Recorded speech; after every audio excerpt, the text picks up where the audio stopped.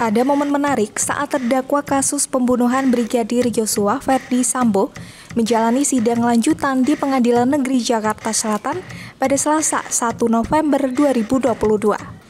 Pasalnya, Sambo terlihat beberapa kali menundukkan pandangannya saat Ibu Yosua, Rosti Simanjuntak, yang kala itu menjadi saksi persidangan memasuki ruangan. Ferdi Sambo yang menggunakan pakaian hitam juga sering kali menatap diam ke arah jaksa penuntut umum dan seperti menghindari beradu mata dengan Rosti.